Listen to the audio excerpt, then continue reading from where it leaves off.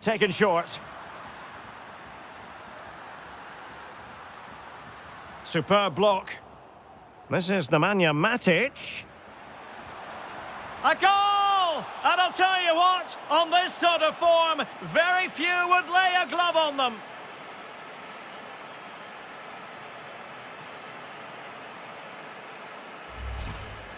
Well, here it is again, and just look how he turns away from his marker and then gets his shot away. That's a very good goal, you have to say.